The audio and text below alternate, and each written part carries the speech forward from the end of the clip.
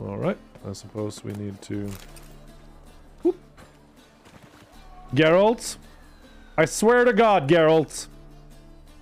Why would you dive? Freaking drama queen.